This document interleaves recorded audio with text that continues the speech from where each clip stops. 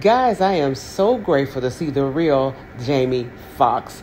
Y'all, he said that he is finally here to talk to us, to let him know, let us know that he is okay. He has been to hell and back. He said, guys, he did not want us to see him like that with all those tubes in him.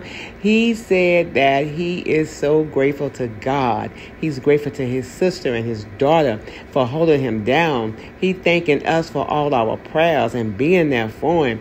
Y'all, I understand. I understand not wanting anyone to see you down and out. He said he wanted us to see him cracking jokes and being the Jamie Foxx that we know and love. But Jamie, we love you regardless. We love you at your highest and we love you at your lowest. Thank you for coming and finally speaking to us. He said that you know what, when you're being quiet, people come up with all kind of stories. He's not blind. Y'all, thank you, Jesus. Jamie, we love you so much. Y'all leave a comment below and let me know what you think about Jamie coming out. Bye.